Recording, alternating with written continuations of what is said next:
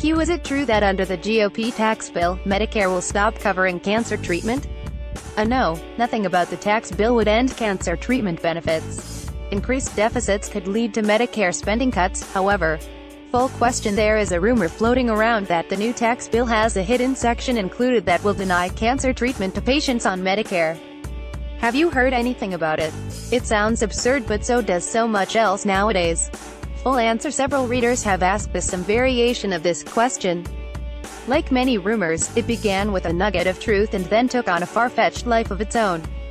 There is no hidden section in the Republican tax bill that denies cancer treatment, or any other kind of health treatment, to Medicare beneficiaries, or anyone with other types of insurance.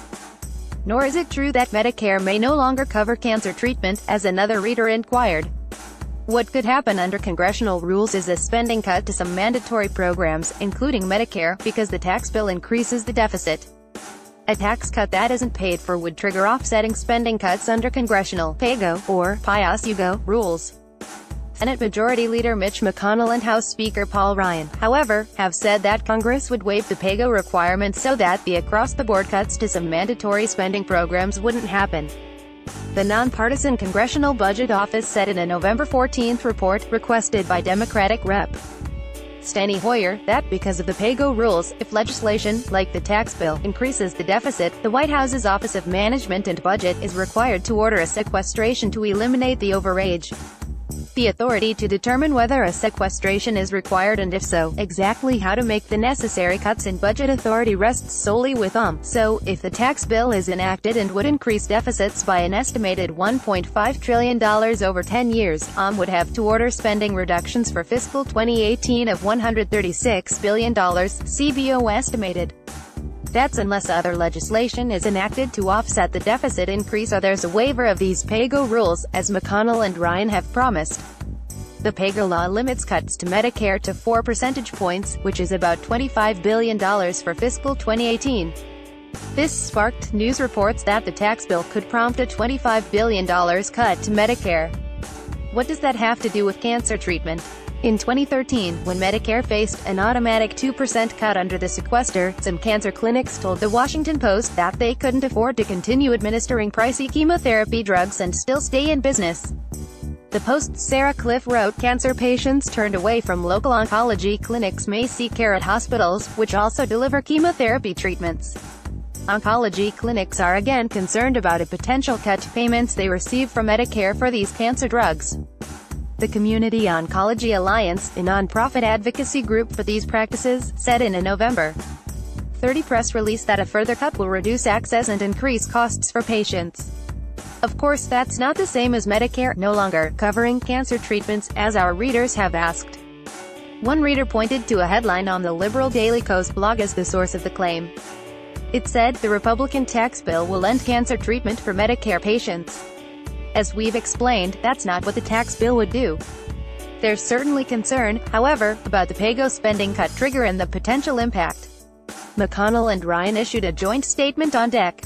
1. Saying Congress would waive the PAYGO requirement. McConnell and Ryan statement, deck. 1. Critics of tax reform are claiming the legislation would lead to massive, across-the-board spending cuts in vital programs, including a 4% reduction in Medicare, due to the PAYGO law enacted in 2010. This will not happen. Congress has readily available methods to waive this law, which has never been enforced since its enactment.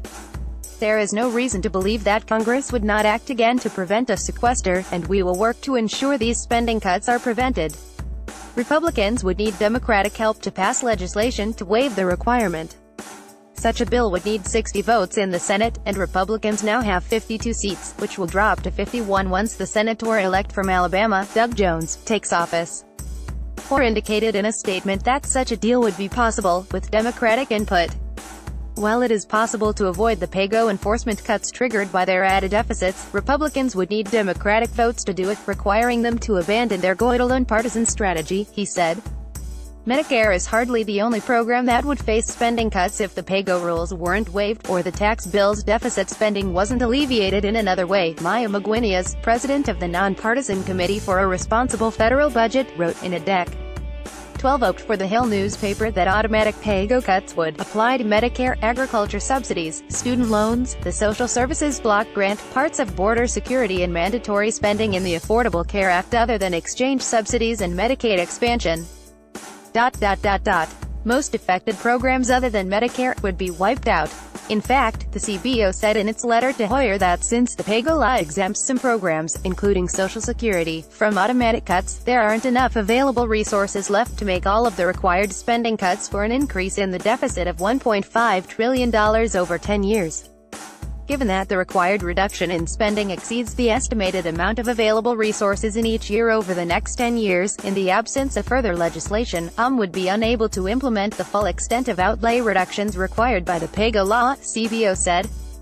Guineas, who notes she is someone who believes spending cuts are in order and overdue, wrote that allowing the PAYGO-triggered cuts to happen wouldn't be sensible at all. This would not be trimming the budget with a scalpel, a hammer or even a sledgehammer, but with a wrecking ball. The CRFB president gave suggestions on how to lessen the cost of the tax legislation. Republicans hope to vote on a final bill next week. Sources letter to the Honorable Steny H. Hoyer, effects of legislation that would raise deficits by an estimated $1.5 trillion over the 20,182,027 period. Congressional Budget Office, the 14th of November 2017.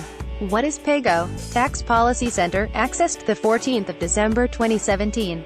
McConnell, Mitch, joint statement from Leader McConnell and Speaker Ryan on misleading Democrat claims about tax reform. 1st of December 2017. Long, Heather. Democrats have leverage in one part of the GOP tax cut process, Washington Post, the 14th of November 2017. Rubin, Richard. GOP tax bill would prompt automatic spending cuts, Wall Street Journal. The 14th of November 2017. Kliff, Sarah. Cancer clinics are turning away thousands of Medicare patients. Blame the sequester, Washington Post, the 3rd of April 2013. McCarter, Joan. The Republican tax bill will end cancer treatment for Medicare patients. Daily Kos. The 29th of November 2017. MacGuineas, Maya. Avoid budgetary wrecking ball by making key changes to tax bill. The Hill, the 12th of December 2017. Community Oncology Alliance. Community oncologists hold emergency Hill Day to warn Congress on Medicare sequester, press release. The 30th of November 2017. Levy, Adam. Alabama's Doug Jones may not take office until 2018. CNN.com, the 13th of December 2017. Hoyer, Steny, Hoyer statement on the CBO's analysis that the GOP tax bill will trigger statutory PAYGO sequester cuts. Press release. The 14th of November 2017.